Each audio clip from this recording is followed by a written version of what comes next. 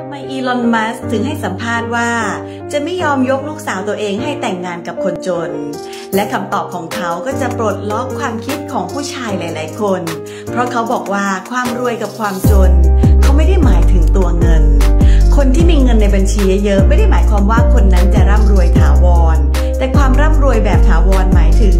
คนที่มีความสามารถสร้างความรวยต่างหากตัวอย่างง่าย ๆ ที่เราเห็นบ่อย ๆ คือคนที่ถูกลอตเตอรี่ หรือคนที่เล่นพนัน คนจนที่มีเงินเยอะ คุณถึงเห็นบ่อยๆว่า คนที่ถูกหวยรวยเบอร์ หรือได้เงินพนันมา ก็จะกลายเป็นคนจนอีกครั้งหลังจากนั้น 5 ปี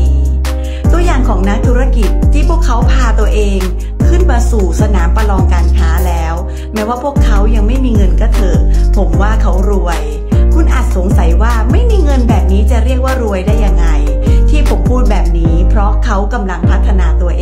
อง คือคนที่จะรวย คนที่จะมั่งคั่งร่ำรวยแบบถาวร คนรวยจะสู้ยิบตายอมเหนื่อยตายเพื่อให้รวย ในขณะที่คนจนจะฆ่าคนอื่นเพื่อให้ตัวเองรวย ไม่เชื่อคุณไปดูได้เลย อาชญากรส่วนใหญ่เป็นคนจน เมื่อพวกเขาเห็นเงินตรงหน้า พวกเขาจะมีอาการสติหลุด เกิดอยากได้เงินของคนอื่น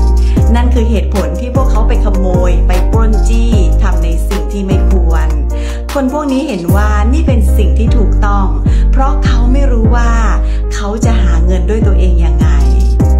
คนรวยเชื่อว่าเขาต้องการข้อมูล และการฝึกฝนเพื่อเป็นทุนในการเริ่มต้น แต่คนจนคิดว่า คนอื่นต้องเอาเงินให้เขา คนอื่นจะต้องให้โอกาสเขา เพื่อให้เขาได้เริ่มต้น กับแค่ความคิดที่จะเริ่มต้นของคนสองกลุ่มนี้ เมื่อฟังมาถึงตรงนี้ พวกเราคงมีคำตอบแล้วนะคะว่า